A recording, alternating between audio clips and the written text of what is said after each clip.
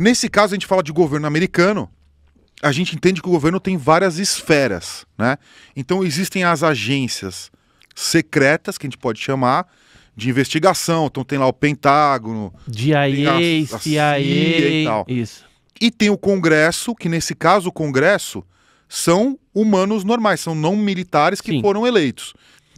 Os congressistas, eles potencialmente não têm acesso a nada, porque eles não fazem parte dessa esfera do governo de eventos e fenômenos secretos. Isso, de inteligência, eles não têm acesso. O próprio presidente norte-americano, ele tem, tem um acesso acesso limitado. limitado, até por questões é, é, de segurança mesmo. Porque se o presidente for pego, se ele souber além do que pode saber dentro desse tema de OVNI, poderia complicar. Então, quando ele assume a presidência, isso é em qualquer país, tá? No Brasil também é assim. Ele é chamado, tem lá uma reunião com os chefes eh, de cada arma, né? Força Aérea, eh, Marinha, Aeronáutica e, e Exército, né? Junta toda essa galera e aí ele é contextualizado. Ó, tem isso, isso, isso, mas até um certo nível. Porque muita coisa que acontece, eh, hoje a gente tem, eh, eh, assim, eu não tenho como provar isso, mas a gente tem essa percepção, porque existem muitos documentos norte-americanos. Então a gente pode falar que o Brasil, desde a década de 40, com base nesses documentos, eh, tem um acordo com os norte-americanos na pesquisa de OVNI. Porque em, em todos os casos mais bambambam bam, bam do Brasil, os americanos estavam aqui. Caso Varginha, Noite Oficial dos OVNIs, Operação Prato, a queda do OVNI em Leme, né, o acidente do OVNI entre São Paulo e Paraná, que a nave inclusive foi levado para a NASA, depois passou por São José dos Campos. Enfim, tem vários casos em que foi é, aconteceu algum tipo de acidente com nave ou foram coletados corpos biológicos diferentes e aí isso acabou indo parar nos Estados Unidos por conta desse acordo que se tem. E aí como Estados Unidos acoberta a gente é obrigado a acobertar também porque está sujeito a mesma direcionamento estratégico de, de acobertamento. E o presidente ele sabe que existe, então. Tem acesso até um, um certo ponto. Você pode ver que o Obama, é, até pouco tempo atrás, você pegar as entrevistas do Obama, você vai ver que ele sempre negava e ia com sarcasmo com relação a OVNI. Não, isso aí não existe. Pá, pá, pá. Quando o Trump pediu para fazer criar esse grupo, né, e que se fizesse esse relatório, né, dos UAPs e tudo mais, o que que o Obama fez na primeira oportunidade que ele participou de um de um programa de televisão, se não me falha, acho que era o é, 60 Minutes, né, 60 minutos. Ah, o fantástico dele É. lá. Aí, o que, que ele falou? Não, tem mesmo, né? Por quê? Porque ele não queria ficar mal ou passar por mentiroso depois. Então ele falou, não, tem algumas coisas realmente estranhas que não são explicáveis. Ele falou isso. Ou seja, mudou completamente o, o posicionamento dele. Por quê? Porque ele provavelmente fez a leitura do contexto e falou, opa, tá tendo uma abertura do governo para falar disso. É porque alguma coisa deve estar em andamento para que se libere em algum momento essas informações, ou se sacramente, olha, OVNI existe, extraterrestre, é alien, alguma coisa assim. Mas- E, aí, agora no Brasil, como que funciona?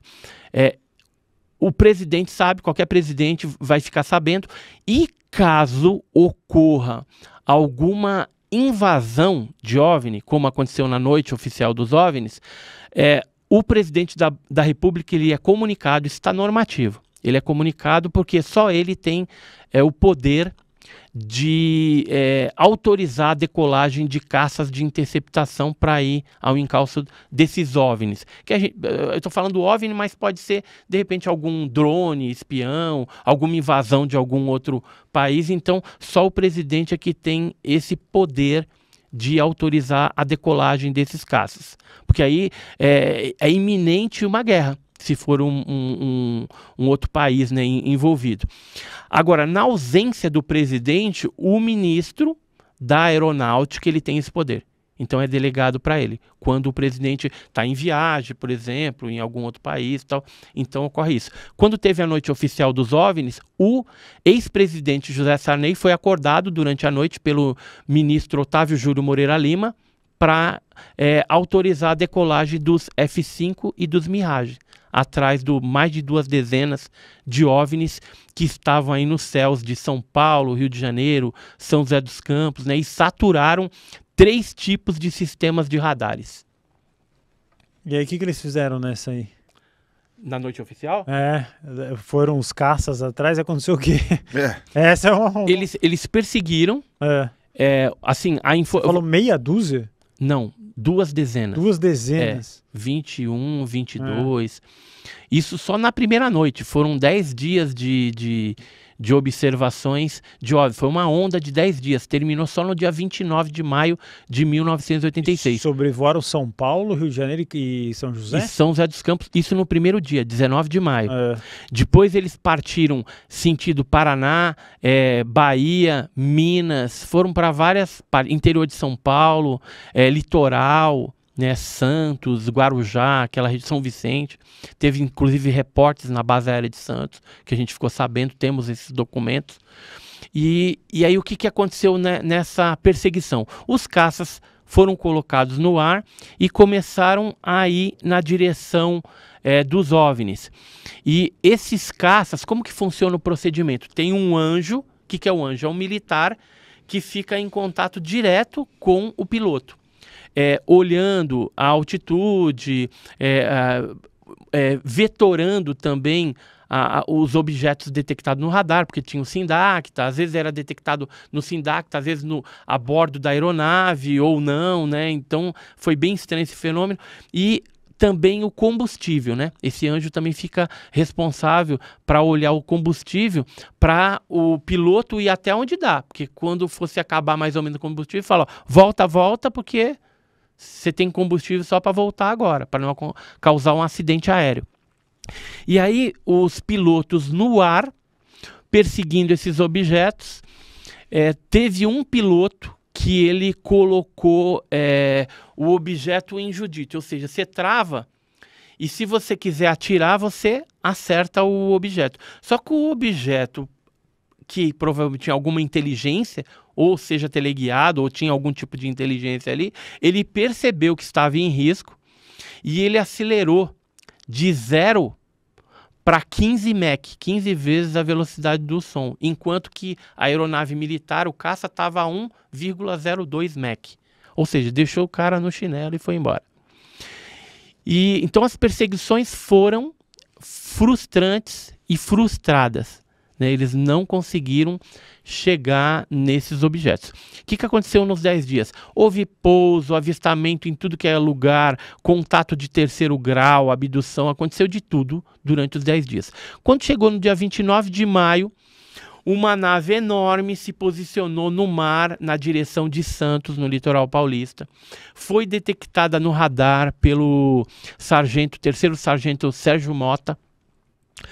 E o, o sargento Mota eh, comunicou novamente São Paulo e Brasília que tinha mais objetos lá, tinha esse grande e tinha uns pequenos que estavam indo em direção ao grande e sumiam, né? Começavam a sumir do radar, mas iam, provavelmente estavam entrando dentro desse objeto maior aí, até que depois desapareceu. Quando ele comunicou, né, Brasília, São Paulo, ele foi eh, cientificado de que o ministro não iria decolar mais nenhum jato, porque na primeira vez não deu certo, ele não ia gastar combustível para ir atrás de um negócio que não ia dar certo de novo. Então ficou por isso mesmo. É, fizeram os relatórios, os relatórios estão no Arquivo Nacional, através do Cian você consegue baixar. Algum, eu sei que está faltando relatórios. Teve militares que me falou que na época foram feitos filmes desses objetos, mas até hoje não foi liberado, porque assim, de um lado do, do- da aeronave tinha câmera e da outra tinha armamento para você atirar. Então toda a, a, a operação de tentativa de interceptação foi eh, filmada. É, tanto é que teve um militar que falou pra gente que lá na escola de especialista da aeronáutica foi feito um, um evento assim meio fechado, onde foi exibido para os militares ali presentes, lá em Guaratinguetá, um desses vídeos dos OVNIs da noite oficial dos OVNIs. Só que até hoje os militares não liberaram isso. Como não liberaram da Operação Prato também, Uhum. que foram feitos filmes Super 8, colorido e preto e branco pela equipe do Capitão Holanda, né? E você tá falando de 1986, isso. 86. 86. né? 86. E o cara chegou Ah. em 15 Mac ali, é o, o extra. É, o, o OVNI ele chegou a 15 Mach, acelerou e